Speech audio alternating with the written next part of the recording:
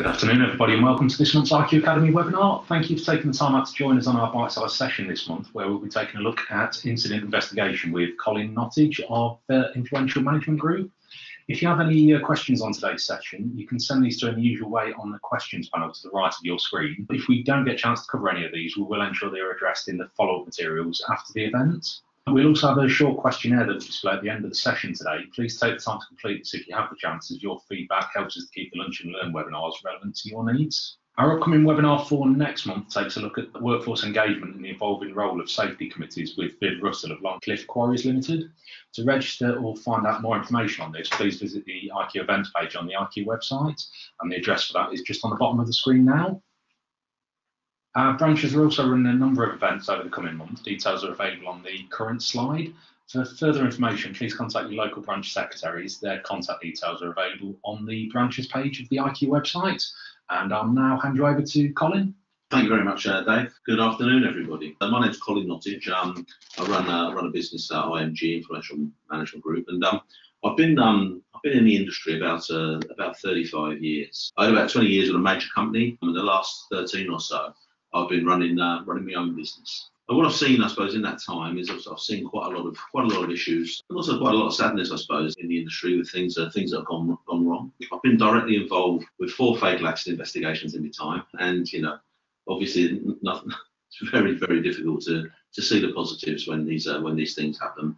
But really, um, you know, I'm going to talk a little bit about one of those uh, a little bit later, a little bit later on. But you know, what I want to do is really try and talk about uh, some of the positives that you can get out of these uh, these incidents. Now, I'm not sure what your experiences have been when things have gone wrong, but you know, there's there, there's a lot of there's a lot of stuff that's that's that's going to be going through going through head. There's uh, there's going to be obviously confer- concerns for the individuals that are involved. Um, you know, trying to trying to make sure that the person or the people that have been affected are getting, you know, the right sort of treatment, the right sort of help. And you know, and those things happen. Those things happen straight away. You know, as things move on, you, you're possibly going to start to feel a little bit exposed a little bit a little bit isolated. People distance themselves from you. You know, you, you find sometimes that uh, that your management, uh, you know, above can uh, can sort of move away, trying to put trying to put themselves uh, a little bit further away from the from the from the incident. I suppose my, my role, you know, when I was working in the major, was to come in to, to come into the uh, to the situation, to try and be try and be supportive, try and be try and be of help, and, and, and ultimately take the business forward as, as, as much as possible you know, people are also going to feel some pressure. There's going to be there's going to be some some, some nervousness. Again, I don't know if you've had the health and safety executive come through the gate. It, it can be quite unnerving.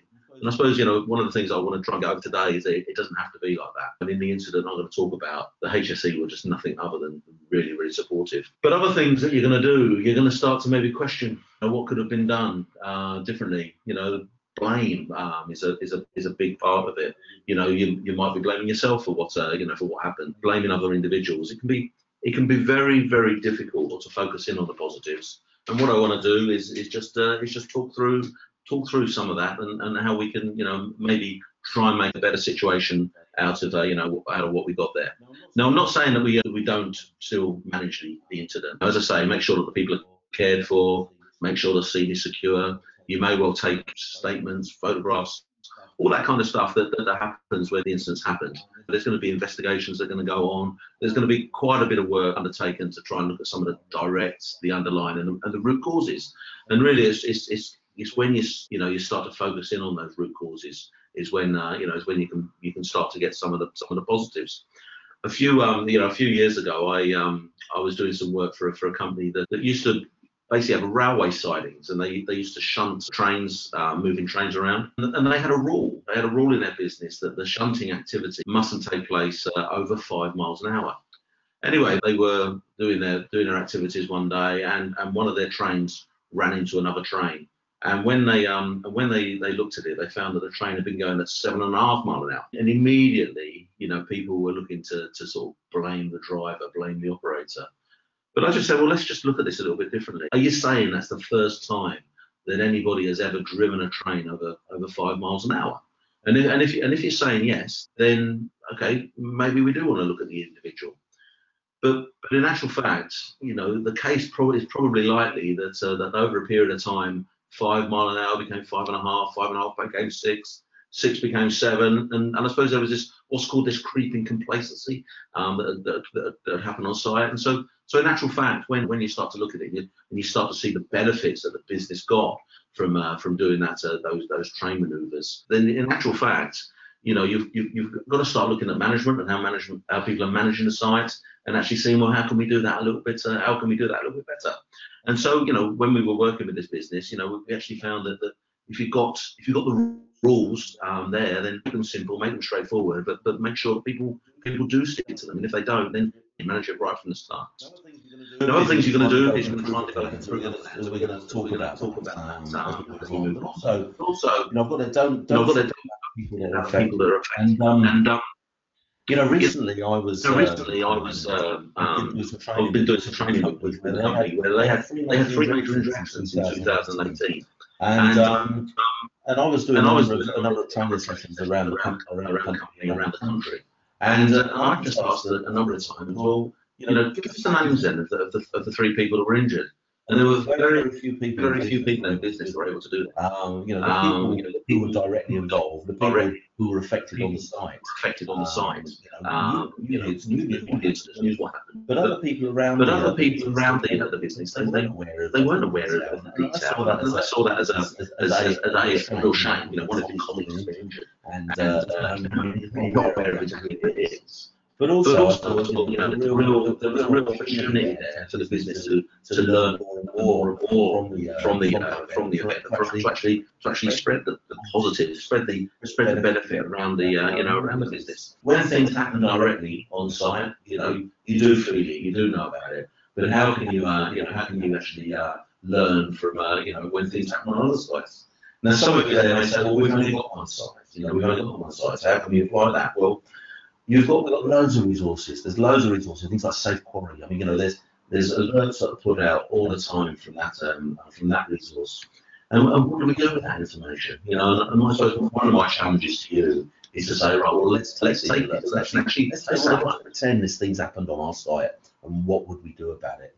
How would we um how would we move it forward? Now I um do a lot of driving with my uh, with my job. I'm I'm up and down the country, spend a lot of time in my car.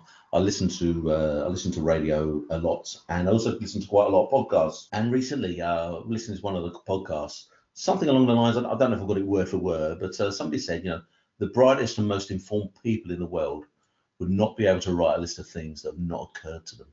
And it made me sit back and think, yeah, you know, that's um, you know, we don't know, we don't know everything to, you know, that that, that can happen. You know, our the the way that we manage, the way that we work on our sites, the way that we behave, is all down to our experiences, and and everybody's got different experiences in life. The people that uh, maybe you know have a car accident for a little period of time after they've had the incident, they they drive a little bit better, you know, and they've learned from that. Um, you know, uh, people, uh, you know, people that, have an, an, an incident maybe where they're working at height, you know, all of a sudden become much much better at it. And and you often hear in the radio, you know, um, you know, we're talking about, you know, maybe drugs in in society, you know, and they turn to people that have had drug addiction to actually become the uh, the, the, the mentors moving forward. And so you've, you've you've got to have experienced stuff, you know, to to get the right um, to get the right results. And and I suppose when um you know when when incidents and when accidents happen in our workplace it, it, it is difficult but it's also a really really great time to to learn and it's a great time to get um you know to get better at what we do. After all you know got their hindsight's 2020 vision know, it's so easy to look back at what um you know what has gone in there on in, in a particular site a particular incident and and say christ wouldn't we have done it differently? And i suppose the, the real challenge is to say okay you know well let's look at what we do and continually challenge how can we do it better.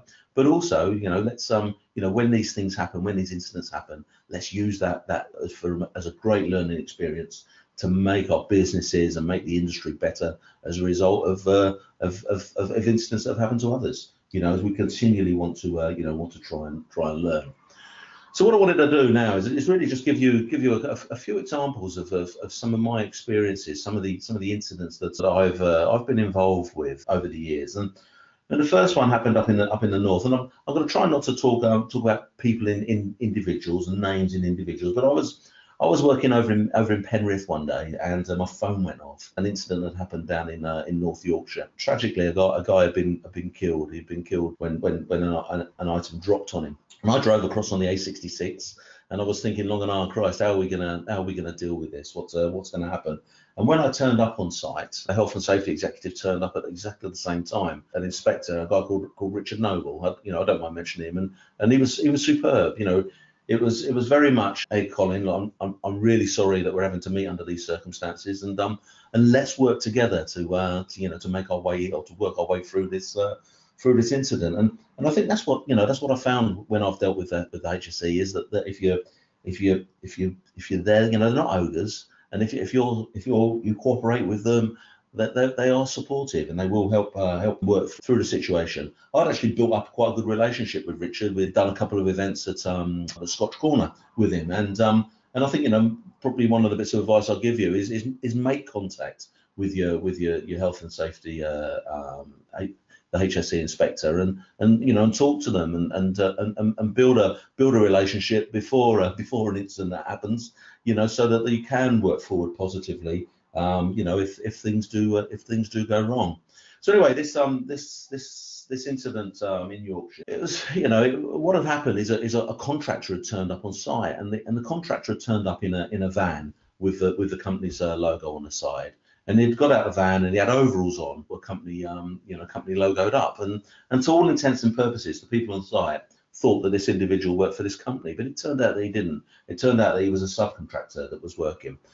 I suppose the assumption was that this was a an individual that was working for a big company, and therefore, you know, everything everything must be in place. And as a business, we learnt, you know, we learnt that, that in actual fact, you know, we can't make those assumptions. What we've got to do is we've actually got to, um, you know, we've got to challenge people. You, you get the contractors that you deserve in life, and and so having a having a good process in place for vetting the contractors, having a good place for inducting them, for for managing them when they're on the site, and then and then actually challenging how they um you know how they've worked and, and would we use them again i think is a, is a very very important part of the process. And it's maybe something that we as a business hadn't been good enough at um, you know before that uh, before that event. But um but we um you know we did get we did get better as a, as a result we actually found that the emergency procedures on the on the, on the site worked really really well. You know the um the first aider was there. The first aider was a foreman and you know tragically he had to, he had to cradle the guy in his arms um for, for an awful long time because it took a long time for the ambulance to get to site. And and one of the reasons for that was because on the notice board, the uh,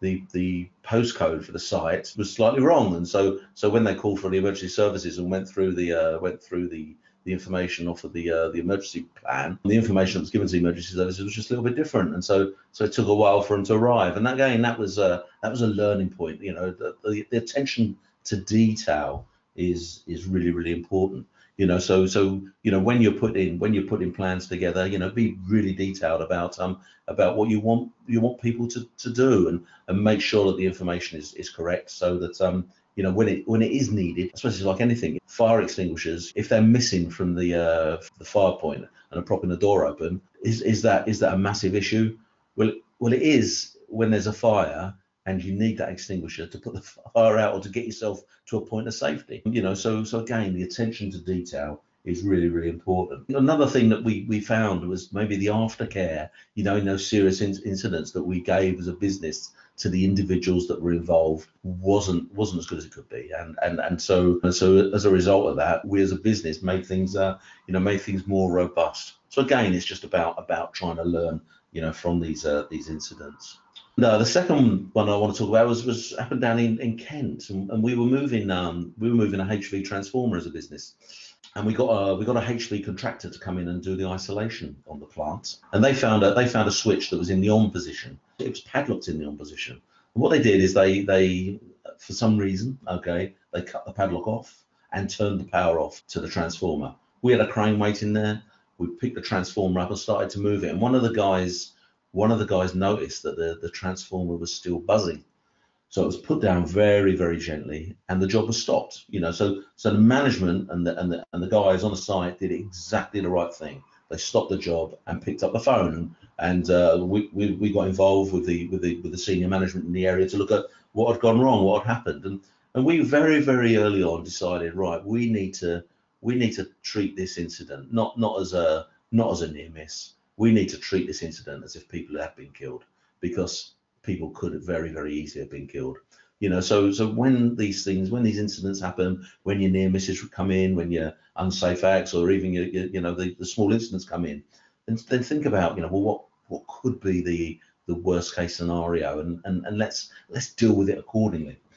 And we found that, um, that in actual fact, what had happened is this, this switch had been turned off, and it, and it had actually turned off the power not just to the site, but it had turned off the power to the to the industrial estate where the where the site was based and a, and a warning had come up in the uh, in the supplier's uh, um, control room that the power had gone down to this industrial estate, and they were able to to reroute the power and re-energize the system, and that put power back onto the transformer. We thought, Jesus, we haven't as a business we haven't managed HV very well here, and we we actually did a bit of analysis, and we had I don't know somewhere between six and seven hundred sites across the UK. And on those sites, we had about 60 sites that had HV uh, equipment. And, and when we found that, that we had a real lack of knowledge of, of, of how HV was managed, we didn't have any uh, appointed people that could do switching. Of the 60 sites, only one of the one of the managers knew whether we owned or didn't own the equipment, and so, so there was a real lack of control. So as a result of that, what we did is, is we actually we actually ended up appointing a, a, an electrical engineer to, to actually run the uh, the HV side within the business, and and so you know so we made improvements out of you know what could have been a what could have been a you know a tragic event. The last uh, the last case study I want to talk about was one that was, that was that was really sort of pertinent to me when I was a, when I was a manager. I used to be a quarry manager for, for quite a few years, and I was working on a on a site over in, in Wales. I was quite fresh, I suppose, out of out of university. I've gone down to uh, to to Wales to, to run this site, and I and I, to be fair, I thought I knew it all, and I had a bit of a, a bit of an open the door approach to health and safety health and safety management. I sort of said to the guys on the site, look, you know, my door is always open. If you've got an issue, if you've got a problem, then uh, then open the door and come and come and talk to me about it. And I thought that was the right thing to do. And but, but, but looking back, it's a little bit, little bit, a little bit selfish of me, really. You know, what was I really saying to the guys? You know, that they've got to come out of their workplace, they've got to come into an environment that I'm comfortable in, and they've got to talk to me about their issue and their problem. Pretty lazy, pretty lazy approach uh, by me. I suppose I had some success. You know, um, you know, the previous manager maybe hadn't been as open. You know, and so I had ten guys, I think it was on site and maybe six or seven of them, seven or eight of them were happy to come in and talk to me.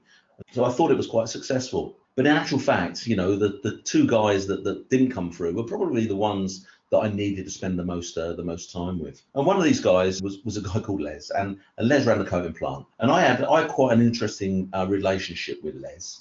Les um, I thought Les was a little bit old school. I thought he was a little bit, um, you know, sort of stuck in his ways. He was in his he was in his mid sixties. I, I felt he moaned quite a bit, and he was, you know, he was a bit stuck in his ways.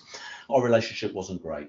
But anyway, Les got to retirement. Les left. Les left the business, and uh, and I put another guy in to run the uh, to run the coating plant. And I put a guy called Gary in, and, Ga- and Gary was uh, um, was was was young, was enthusiastic, and um, anyway, after a couple of weeks, my phone went off, and and Gary was on. And he says look, Colin, I'm not prepared to start the plants in the way that Les used to start the plant. I'm not prepared to uh, to do that. And I said, well, what do you mean? He said, well, come over and have a look. And I liked Gary, so over I went. And I found that maybe two, three, four weeks previously, I'd had a 65 year old guy at, I don't know, half past five in the morning. He'd climb up the uh, the plant, this the the, the coating plant. He, he'd hold onto a beam. He'd reach around. It was about three meters up in the air he'd reach around this uh, this this pipe, this bitumen pipe that was probably I don't know 70, 80 degrees centigrade uh, on the outside, and, and he used to hit this valve with a hammer, and he didn't hit it every day. He hit it, he hit it um because uh, he didn't have a problem every day. You know, it may have been it may have been every couple of weeks or once a month. But anyway, the, the, the problem was was was that, that I'd let I'd let Les down because because what I hadn't done is I hadn't gone out into the workplace and I hadn't gone out and found out how he did his job yeah, I got involved. I got involved if there was an issue, if there was a problem, if the coating plant was broken down, I was straight over there. But but just generally going out and talking to him and asking him how how did he do his job. I hadn't uh, I hadn't really done done enough of that. I let Les down. I'd I'd exposed him a little bit. I want to think about Les as well, okay? Because Les actually let himself down because because in actual fact what he did is he climbed up that plant. He climbed that three meters up in the air he reached around that, uh, held onto that beam and reached around that pipe, and he hit that, he hit that valve. And if he had, if he had fallen, you know, he could very well have killed himself or seriously injured himself. And and so he was sort of gambling, I suppose. He was gambling, you know, and he was prepared to risk, you know, 44 years, I think he worked for the business. He was prepared to risk all of that just to keep production going, you know. And it, um, you know, and it was a, it was a wrong call. It was a poor call You know, so Les had let himself down there. But I'll tell you what Les did as well is he also let his mates down. He let his colleagues down because he did retire and he didn't tell anybody. And and if and if Gary hadn't have had the confidence to pick up the phone and talk to me, then would he have would he have put himself in that same position? Would he have climbed up that plant? Would he have held onto that beam and reached around that pipe and and got hurt? And I suppose I was lucky in a way as a as a as a manager, okay, because Gary did have the confidence. And and so one of the things I want you or I'd like you to do when you go back into your workplace is is to think about that. How how open are people to actually to actually you know, sort of come in and talking to you, or how often do you go out and talk to people? Because because the more time you can spend out in the business talking to people, the more opportunities you're going to get to actually stop the uh, you know stop the things that are incidents um you know becoming becoming accidents and and, and hurting people. And so spending that time out in the uh, you know out in the workplace is really really important. So in sort of summary, really, I think you know what we don't want to do is, is is we don't want to portion blame. You know, to be fair, you know, if a if an accident has happened, there's no point in spending time saying, well, you know, it's his fault, it's their fault. You know, the incident's happened. There's a whole series of reasons why it's happened. And so what we want to do as a business is, is say, right, well, let's you know, let's let's work forward. You know, we don't want accidents, we don't want incidents to happen. But when we do, let's try and get as many positives as we can so that we can make the workplace better. Did the emergency arrangements work well? How did people react under pressure? Have we, as a result of the incident, as a result of the accident, actually been able to make some big improvements? As I mentioned earlier on, you know, the the HV uh, side of things, you know, as a business, we were we were so much better placed six, 12 months later because of the incident that happened down in Kent, because we'd we'd, we'd learned from it and we put things into, uh, you know, we put things into place what extra training do people need, or what, what more importantly, what extra training have people had? You know, there tends to be, um, you know, there, there tends to often be when when incidents and when accidents happen, a whole no, new load of procedures are put into place. But you know, but I think one of the things I'd like you to think about is is say, well, you know, actually challenge maybe the procedure that we had was good enough, but in actual fact, what we hadn't done is we hadn't, as a business, explained it well enough. And so the people that were up were doing the job you know maybe didn't didn't understand it. A lot of times I go out and uh, and look at maintenance activities that people are people are doing, and I just challenge the risk assessments and and just say you know what a risk assessment, a safe system of work that you've got there, does it actually get followed? Is it good enough for the job that's being done? Could you just pick that document up and rely on it to do the job? And if you can't, um, you know, if you can't say yes to that, then then then challenge beforehand. So so get out into the uh, get out into the business go and see how people are doing the uh, doing doing the job, you know, and see see how they can be done better. And even when things are going well, you know, if even when you know you you know everything seems to be going along great, you know, production's good, you know, there's there's the plant's running well. Go out and talk to people and find out well how do you how did you start the plant this morning? Because what you're going to find is that that people cope, you know, people cope with stuff that's going on out there, and uh, you know, so let's get that Let's get that coping out of the business. Challenge your near miss reporting process. You know, and if um, you know if you're not getting any near misses in as a business, then then something's not right. You haven't developed a culture. You haven't developed an environment that, that is that is right for people to report it. So you, you've got to look at yourself. You've got to look at well, what could I do better to actually get the guys out of the sharp end to tell us about more about what's going on. And when stuff does come in, you know, treat it seriously. It doesn't matter how small the, the, the incident may appear to you. If, if somebody's taken the time and effort to write it down, it's important to them. So so get uh, you know do a good investigation. You know if we if if, if I hadn't have um, if I hadn't have, have, have looked at, at how Gary was was doing his job and previously Les was doing his job, then then all that would have happened at some point is somebody would have got seriously uh, challenge uh, challenge your investigation to look beyond the people that are directly affected you know, so so in actual fact, go up your management chain a little bit. That that shunting incident that I spoke about. But in actual fact, the management team had taken all the benefits from from that that that shunting activity going faster. You know, they'd got increased productivity. They'd probably got increased pro- profitability. What they hadn't done is they hadn't actually said, right, these rules that we've got in place are, are the ones that we want to stick to. And they, um, you know, so they they compromised themselves by allowing people to, to break the rules. So so just challenge that uh, that process, um, and ultimately, if you do that, then you're going to build a better business out of adversity. good luck out there, and I hope you've uh, you've had some benefit from the, the the session that we've done today. Thank you. Thanks, Colin, and uh, thank you to all of those who took the time out to join us today. Colin's contact details are just on screen now if you uh, wanted to get in touch to follow anything up with him. As with the previous sessions, we will be making a recording of the webinar and the slides available for you to access.